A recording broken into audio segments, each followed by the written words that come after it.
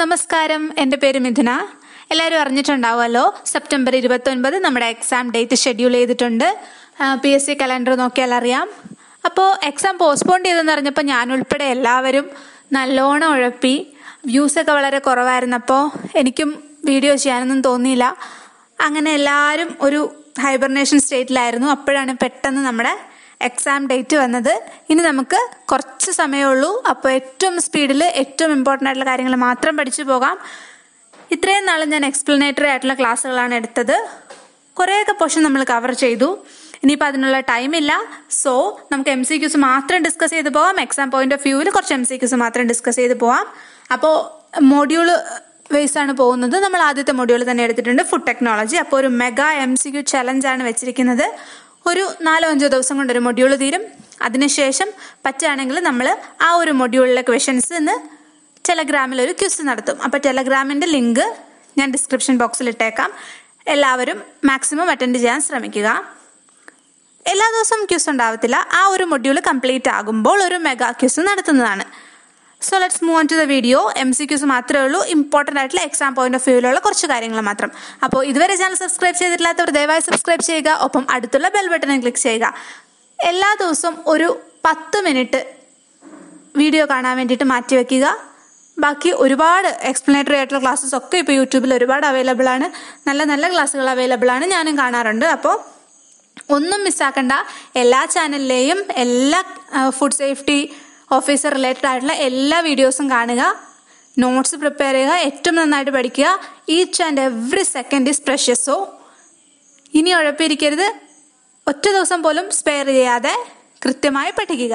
Okay first question which among the following is radiation resistant bacteria അപ്പോൾ ഇനി കൊടുത്തിട്ടുള്ളവയിൽ ഏതാണ് radiation resistant ആയിട്ടുള്ള ഒരു ബാക്ടീരിയ എന്ന് നോക്കാം. Option A streptococcus radiodurans option B bacillus cereus option C mycobacterium tuberculosis option D is deinococcus radiodurans correct answer ഏതാണ്? ഡെനിയോകോക്കസ് radiodurans ആണ് radiation resistive ആയിട്ടുള്ള ബാക്ടീരിയ ഈ കൂട്ടത്തിൽ. അടുത്ത question international simple indicating the food product have been irradiated അപ്പോൾ irradiation നടന്നിട്ടുള്ള ഭക്ഷണ പദാർത്ഥങ്ങൾക്ക് കൊടുക്കുന്ന ഒരു ഇന്റർനാഷണൽ സിമ്പിൾ ഉണ്ട്. അതേതാണെന്നാണ് ചോദിച്ചിട്ടുള്ളത്? Option A grey option B rad option C Radura and option D is plus R correct answer option C റാഡുറയാണ് അതൊരു ഇന്റർനാഷണൽ സിമ്പിൾ ആണ്. റേഡിയേഷൻ ഇറാഡിയേഷൻ പ്രോസസ്സ് നടന്നിട്ടുള്ള ഭക്ഷണ പദാർത്ഥങ്ങൾക്ക് കൊടുക്കുന്ന ഒരു ഇന്റർനാഷണൽ സിമ്പിൾ ആണ്. റാഡുറ ഓക്കെ അടുത്ത ക്വസ്റ്റ്യൻ നോക്കാം. Microwaves are option A ionising radiations option B non ionising radiations option C external heating option D is both A and C അപ്പോൾ നോക്കിക്കേ മൈക്രോവേവ്സ് എന്താണ്? They are non ionizing radiations അപ്പൊ correct answer option B ആണ്. ഓർക്കുക non ionising radiations ആണ്. അതുപോലെ മൈക്രോവേവ്സിന്റെ കാര്യത്തിൽ എന്താണ്? ഇന്റേണൽ ഹീറ്റിംഗ് ആണ് നടക്കുന്നത്. സോ ഓപ്ഷൻ സി തെറ്റാണ്. ഇന്റേണൽ ഹീറ്റിംഗ് ആണ്. So the correct answer is microwaves are non ionising radiations എന്ത് തരം ഹീറ്റിംഗ് ആണ്? ഇന്റേണൽ ഹീറ്റിംഗ് ആണ്. ഓക്കെ അടുത്തത്.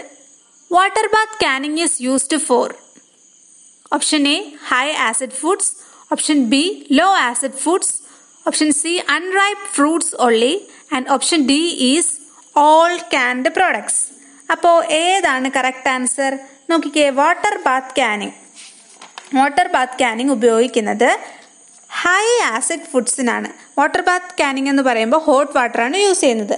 അപ്പോൾ ഓർക്കുക ഹൈ ആസിഡ് ഫുഡ്സിന് വേണ്ടിയാണ് വാട്ടർ ബാത്ത് ക്യാനിങ് ചെയ്യുന്നത്. ഇനി ലോ ആസിഡ് ഫുഡ്സിന് എന്താണ് ചെയ്യുന്നത്? പ്രഷർ ക്യാനിങ് ആണ് ചെയ്യുന്നത്. ഒരു fifteen P S I pressure കൊടുത്തിട്ടാണ് ഈ ഒരു പ്രഷർ കാനിങ് ചെയ്യുന്നത്. അപ്പോൾ ഇത്രയും കാര്യങ്ങൾ ഓർക്കുക. വാട്ടർ ബാത്ത് കാനിങ് ചെയ്യുന്നത് ഹൈ ആസിഡ് ഫുഡ്സിനും അതുപോലെ പ്രഷർ കാനിങ് ചെയ്യുന്നത് low acid ഫുഡ്സിനുമാണ് okay next question main intention of blanching is option A killing of microbes option B killing of sports option C inactivation of enzymes and option D is fermentation correct answer എന്താണ്? Inactivation of enzymes ആണ്. അപ്പം നോക്കിക്കേ blanching എന്ന് പറയുന്നത് കാനിങ്ങിനൊക്കെ മുമ്പ് ചെയ്യുന്ന ഒരു പ്രോസസ്സാണ് എന്താ ബ്ലാഞ്ചിങ്ങിൽ സംഭവിക്കുന്നത്? നമ്മുടെ വെജിറ്റബിൾസിന്റെ ഫ്രൂട്ട്സിന്റെ ഒക്കെ കാര്യത്തിലാണ് they're immersed in water or live steam ഇതിന്റെ മെയിൻ ഇന്റൻഷൻ എന്ന് പറയുന്നത് to inactivate the enzymes in natural food ഭക്ഷണ പദാർത്ഥങ്ങളിൽ അതിന്റെ നാച്ചുറൽ സ്പോയിലേജിന് കാരണമാകുന്ന കുറച്ച് എൻസൈംസ് ഒക്കെ ഉണ്ടാകും. അതിനെയൊക്കെ ഇനാക്ടിവേറ്റ് ചെയ്യാൻ വേണ്ടിയിട്ടാണ് ഈ ഒരു ബ്ലാഞ്ചിങ് പ്രോസസ്സ് ചെയ്യുന്നത്. അതുപോലെ കാനിങ്ങിന് മുമ്പ് ബ്ലാഞ്ചിങ് ചെയ്യുകയാണെങ്കിൽ അതിന്റെ കളറും ഫ്ലേവറും ഒക്കെ പ്രിസർവ് ചെയ്യാൻ പറ്റും. പിന്നെ അതിന്റെ ആ ഒരു ഗ്രീൻ കളർ ഇപ്പോൾ വെജിറ്റബിൾസിന്റെ ഒക്കെ ഒരു ഗ്രീൻ കളർ അത് ക്ലോറോഫിൽ കൊടുക്കുന്ന ആ ഒരു ഗ്രീൻ കളറിനെ പ്രിസർവ് ചെയ്യാൻ വേണ്ടിയിട്ട് ബ്ലാഞ്ചിങ്ങിന്റെ സമയത്ത് ചില കെമിക്കൽസ് ആഡ് ചെയ്യും. അത് ഏതൊക്കെയാണെന്ന് കൂടെ ഒന്ന് പഠിച്ചിരിക്കണം. ഏതൊക്കെയാണ്? സോഡിയം കാർബണേറ്റ് അല്ലെങ്കിൽ കാൽഷ്യം ഓക്സൈഡ് ഇത് രണ്ടും ബ്ലാഞ്ചിങ്ങിന്റെ സമയത്ത് ആ വാട്ടറിൽ ആഡ് ചെയ്യും. കാരണം എന്തിനാണ്? അതിന്റെ ആ ഒരു കളറും മെയിന്റെയിൻ ചെയ്യാൻ വേണ്ടിയിട്ട്. അതുപോലെ ഇപ്പോൾ എൻസൈമാറ്റിക് ബ്രൗണിംഗ് ഒക്കെ നമ്മൾ പറഞ്ഞല്ലോ. അപ്പോൾ ഈ ക്യാൻഡ് ഫുഡ്സിന്റെയൊക്കെ എൻസൈമാറ്റിക് ബ്രൗണിംഗ് ഒക്കെ പ്രിവെന്റ് ചെയ്യാൻ വേണ്ടിയിട്ട് ബ്ലാഞ്ചിങ് ചെയ്യുന്നത് നല്ലതായിരിക്കും. അപ്പോൾ മെയിൻ ഇന്റൻഷൻ എന്താണെന്നായിരുന്നു ക്വസ്റ്റ്യൻ എന്താണ് correct answer option C inactivation of enzymes അടുത്ത question principle behind freeze drying freeze ഡ്രൈയിങ്ങിന്റെ principle എന്താണെന്നാണ് ചോദിച്ചിരിക്കുന്നത്? Option A blast freezing option B contact freezing option C sublimation and option D is condensation അപ്പോൾ freeze ഡ്രൈയിങ്ങിന്റെ principle എന്ന് പറയുന്നത് option C sublimation ആണ്. ഓർക്കുക. Sublimation എന്ന് പറഞ്ഞാൽ എന്താണ്? ലിക്വിഡ് ഫേസ് ഇല്ല. ഡയറക്റ്റ് സോളിഡിൽ നിന്ന് ഗ്യാസിലേക്ക് പോവാണ്. അപ്പോൾ അതാണ് സബ്ലിമേഷൻ അപ്പോൾ സബ്ലിമേഷൻ എന്നൊരു പ്രിൻസിപ്പിൾ ഉപയോഗിച്ചാണ് ഫ്രീസ് ഡ്രൈയിങ് ചെയ്യുന്നത്. ഓർക്കുക സോളിഡ് ടു ഗേഷ്യസ് സ്റ്റേറ്റ് ആണ്. ലിക്വിഡ് സ്റ്റേറ്റ് ഇല്ല ഇടയ്ക്ക്. ആ ഒരു ഇന്റർമീഡിയറ്റ് ലിക്വിഡ് സ്റ്റേജ് ഇല്ല. അതാണ് സബ്ലിമേഷൻ അപ്പോൾ പ്രിൻസിപ്പിൾ ബിഹൈൻഡ് ഫ്രീസ് ഡ്രൈയിങ് ഇനി എപ്പോൾ ചോദിച്ചാലും എഴുതിക്കൊള്ളുക sublimation next question cryodesiccation is otherwise known as option A freeze drying option B lyophilisation option C blast freezing option D both A and B അപ്പോൾ cryodesiccation എന്നതിന്റെ മറ്റു പേരുകളാണ് ചോദിച്ചിട്ടുള്ളത്. Correct answer is option D that is both A and B എന്തൊക്കെയാണ്? അപ്പോൾ ക്രയോഡെസിക്കേഷനും freeze ഡ്രൈയിങ്ങും ലയോഫിലൈസേഷനും എല്ലാം ഒന്നാണ്. ഓർക്കുക നമ്മുടെ ലയോഫിലൈസേഷൻ അല്ലെങ്കിൽ ഫ്രീസ് ഡ്രൈയിങ്ങിന്റെ മറ്റൊരു പേരാണ് നമ്മുടെ ക്രയോഡെസിക്കേഷൻ. ഇതിന്റെ പ്രിൻസിപ്പിളാണ് നമ്മൾ നേരത്തെ പറഞ്ഞത് സബ്ലിമേഷൻ ഓക്കെ ഇനി quick freezing is better than slow freezing true or false എന്താണ്? അപ്പോൾ quick freezing is better than slow freezing എന്നാണ് കൊടുത്തിരിക്കുന്നത് സ്റ്റേറ്റ്മെന്റ്. കറക്റ്റ് അല്ലേ? അപ്പോൾ കറക്റ്റ് ആൻസർ എന്താണ്? ട്രൂ ആണ്. കാരണം എന്താണ്? ക്യുക്ക് ഫ്രീസിംഗിൽ സ്മോൾ ക്രിസ്റ്റൽ ഐസ് ക്രിസ്റ്റൽസേ ഫോം ചെയ്യത്തുള്ളൂ. പക്ഷെ സ്ലോ ഫ്രീസിംഗ് ആണെങ്കിൽ ഇന്റേണലായിട്ട് കുറേ ലാർജ് ഐസ് ക്രിസ്റ്റൽസ് ഫോം ചെയ്യും.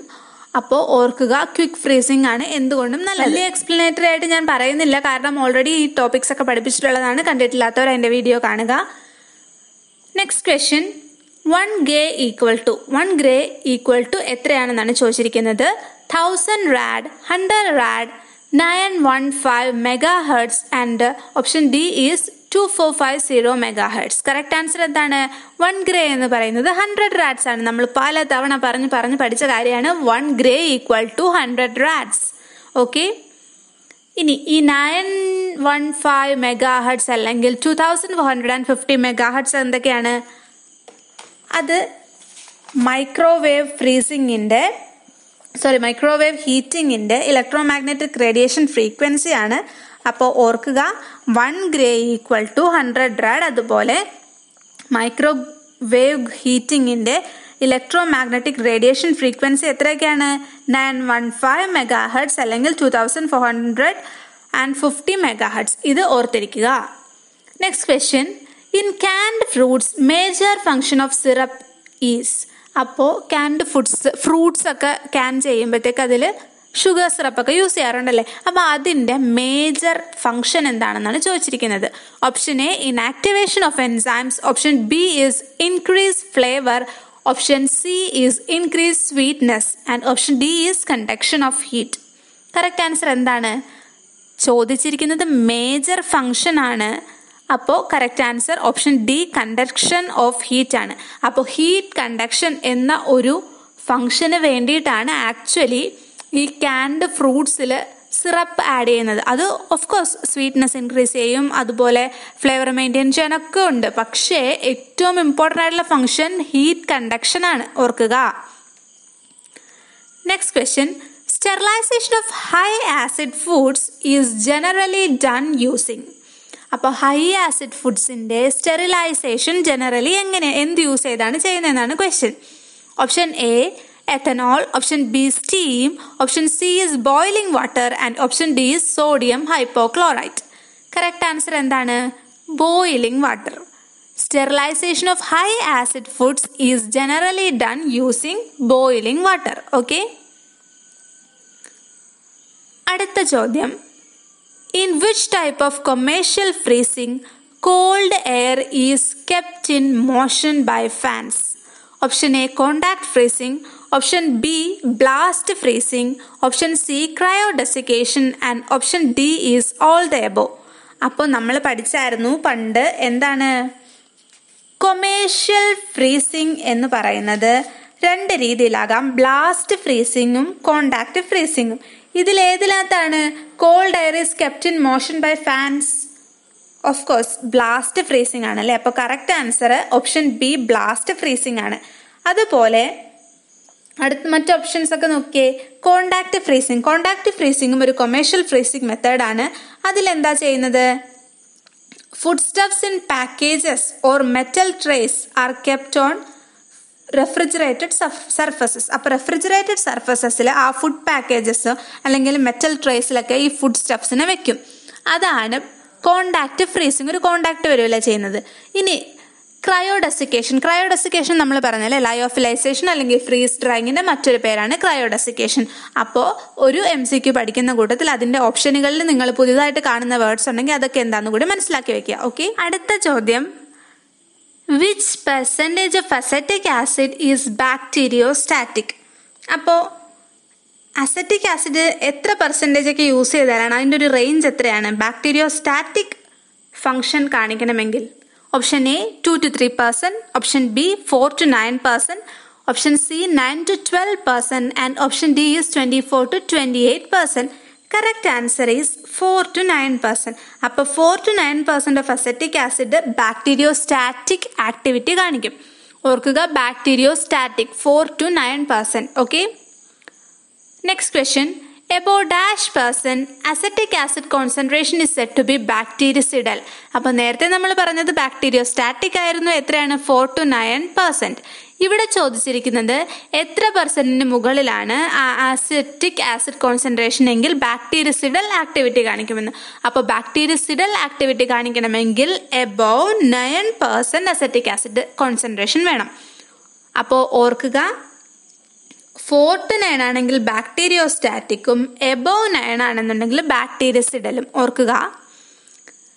Next question. Salt shows preservative nature about dash percent concentration. അപ്പോൾ നമുക്കറിയാമല്ലേ ഇപ്പോൾ പിക്കിളിങ്ങിലൊക്കെ ആണെങ്കിലും അല്ലെന്നുണ്ടെങ്കിൽ നമ്മൾ ഉപ്പിലിട്ട് വെക്കുകയൊക്കെ ചെയ്യും അല്ലേ? അപ്പോൾ ഈ ഒരു സാൾട്ടിന്റെ കോൺസെൻട്രേഷൻ എത്രയാണെങ്കിലാണ് അതൊരു പ്രിസർവേറ്റീവ് ആയിട്ട് ആക്ട് ചെയ്യുന്നതെന്നാണ് ചോദിച്ചിരിക്കുന്നത്. Option A sixty five percent option B forty to fifty forty five percent option C twelve percent and option D is seven percent correct answer is twelve percent approximately പന്ത്രണ്ട് ശതമാനത്തിൽ കൂടുതൽ concentration ഉണ്ടെങ്കിലാണ് നമ്മുടെ salt ഒരു preservative activity കാണിക്കുന്നത്. Preservative ആയിട്ട് use ചെയ്യാൻ പറ്റുന്നത്. Twelve percent and above okay ഇനി rennet coagulation time dash during pasteurisation അപ്പോൾ പാസ്റ്ററൈസേഷൻ മൂലം റെന്നറ്റ് കൊയാഗുലേഷൻ ടൈം ഇൻക്രീസ് ചെയ്യുമോ ഡിക്രീസ് ചെയ്യുമോ അതോ മാറ്റമൊന്നും ഉണ്ടാവത്തില്ലേ എന്നാണ് ചോദിച്ചിരിക്കുന്നത്. കറക്റ്റ് ആൻസർ എന്താണ്? Rennet coagulation time increases during pasteurisation പാസ്ചറൈസേഷന്റെ ടൈമിൽ റെന്നറ്റ് കൊയാഗുലേഷൻ സമയം കൊയാഗുലേഷൻ ആവശ്യമായ സമയം കൂടുതലായിരിക്കും. അടുത്ത ചോദ്യം. In order to protect the green color, which chemical is added to water before blanching process? അയ്യോ ഞാൻ നേരത്തെ പറഞ്ഞു പോയി. എന്നാലും ഒന്നുകൂടെ നോക്കാം അല്ലേ? Option A calcium oxide option B sodium carbonate option C is sorbates of potassium and calcium option D is both A and B നേരത്തെ പറഞ്ഞു പോയല്ലേ അപ്പോൾ കാൽഷ്യം ഓക്സൈഡും അതുപോലെ സോഡിയം കാർബണേറ്റും ഈ രണ്ട് കെമിക്കൽസ് ആണ് ആ ഒരു ഗ്രീൻ കളറിനെ പ്രൊട്ടക്ട് ചെയ്യാൻ വേണ്ടിയിട്ട് ബ്ലാഞ്ചിങ് പ്രോസസ്സിന്റെ സമയത്ത് വാട്ടറിൽ ആഡ് ചെയ്യുന്നത്. സോഡിയം കാർബണേറ്റും കാൽഷ്യം ഓക്സൈഡും ഓക്കെ അടുത്ത ചോദ്യം ഇൻഡിക്കേറ്റർ ഓഫ് പാസ്റ്ററൈസേഷൻ ഓപ്ഷൻ പോലും നോക്കണ്ട. നമുക്കറിയാം അല്ലേ? കോക്സിയ ലബർണറ്റി ആണ് ഇപ്പോൾ ലേറ്റസ്റ്റ് ആയിട്ട് യൂസ് ചെയ്യുന്ന പാസ്റ്ററൈസേഷൻ ഇൻഡിക്കേറ്റർ മുമ്പ് ഏതായിരുന്നു മൈക്രോ ബാക്ടീരിയം ട്യൂബക്ലോസിസ് ഓക്കെ അടുത്തത് which of the following is also known as appertisation appertisation എന്നറിയപ്പെടുന്നത് ഇതിലേതാന്ന് നോക്കാം. Option A blanching option B canning option C hurdle technology and option D is sterilisation correct answer എന്താണ്? Canning ആണ്. കാനിങ്ങിന്റെ മറ്റൊരു പേരാണ് അപ്രൈസേഷൻ എന്തുകൊണ്ടാണ് കാനിങ്ങിനെ അപ്രൈസേഷൻ എന്ന് പറയുന്നത്?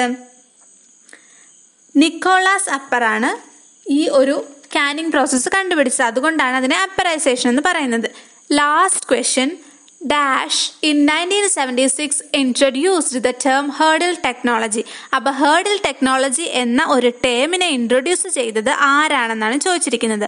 Option A Landsteiner option B William Johan option C is Leistner and option D is Soxhlet അപ്പോൾ ആരാണ് ഹേർഡിൽ ടെക്നോളജി എന്ന ഒരു ടേം ഇൻട്രൊഡ്യൂസ് ചെയ്തത് ആയിരത്തി തൊള്ളായിരത്തി എഴുപത്തി ആറിലെ ലിസ്ണറാണ് ഓർക്കുക ലിസ്നർ ആണ് ആയിരത്തി തൊള്ളായിരത്തി എഴുപത്തി ആറിൽ ഹേർഡൽ ടെക്നോളജി എന്ന ഒരു ടേം ഇൻട്രൊഡ്യൂസ് ചെയ്തു നമ്മുടെ ഇരുപത് ചോദ്യങ്ങൾ കംപ്ലീറ്റ് ആയിട്ടുണ്ട്. ഇനിയുള്ള ദിവസങ്ങളിൽ ചിലപ്പോൾ നമുക്ക് കൂടുതൽ ക്വസ്റ്റ്യൻസ് ഡിസ്കസ് ചെയ്യാം. ഇത് ആദ്യത്തെ ദിവസമല്ലേ? അപ്പോൾ ഞാനൊന്ന് ട്രൈ ചെയ്ത് നോക്കിയതാണ്. ഇങ്ങനെ എം സി ക്യൂസ് മാത്രം ഉണ്ടെങ്കിൽ അപ്പോൾ ഒരു വളരെ കുറച്ച് സമയം മതി. ഏറ്റവും കൂടുതൽ എക്സാം പോയിന്റ് ഓഫ് വ്യൂവിൽ കൂടുതൽ പോയിന്റ്സ് കിട്ടും. അതുപോലെ തന്നെ ഇനി എലാബറേറ്റ് ആയിട്ടുള്ള ക്ലാസ്സസ് എടുക്കാൻ ടൈമില്ല എന്നാലും നമ്മൾ എം സി ക്യു ഡിസ്കസ് ചെയ്യുന്ന കൂട്ടത്തിൽ ഇപ്പോൾ ബ്ലാഞ്ചിങ് ഒക്കെ പറഞ്ഞപ്പോൾ പറഞ്ഞില്ലേ അതുപോലെ അത് റിലേറ്റഡ് ആയിട്ടുള്ള കുറച്ച് പോയിന്റ്സും കൂടെ ഞാൻ പറഞ്ഞു പോവാം. അപ്പോൾ നിങ്ങൾക്ക് യൂസ്ഫുൾ ആയിരിക്കും. അപ്പോൾ എന്നും കുറച്ച് കുറച്ച് ടോപ്പിക്കായിട്ട് പഠിക്കുക. അതുപോലെ ടെലഗ്രാമിൽ നമ്മൾ ഒരു മൊഡ്യൂൾ കഴിയുമ്പം ഒരു മെഗാ ക്യൂസ് ഇടുന്നതായിരിക്കും. അത് അറ്റൻഡ് ചെയ്യാൻ ശ്രദ്ധിക്കുക. അപ്പോൾ ഇത്രയൊക്കെ പറയാനുള്ളൂ. സമയം വേസ്റ്റ് ചെയ്യാതെ പഠിക്കുക. ഇനി നമുക്ക് കുഴപ്പം സമയമില്ല. സെപ്റ്റംബർ ഇരുപത്തൊമ്പതാണ്. അപ്പോൾ ഏറ്റവും നന്നായിട്ട് ഹാർഡ് വർക്ക് ചെയ്താൽ നമുക്ക് ആ ഒരു ലിസ്റ്റിൽ കടന്നുകൂടാൻ സാധിക്കും. എല്ലാവർക്കും ബെസ്റ്റ് വിഷസ് എല്ലാവരും ട്രൈ ചെയ്യുക. മാക്സിമം ട്രൈ ചെയ്യുക. വിട്ടുകൊടുക്കരുത്.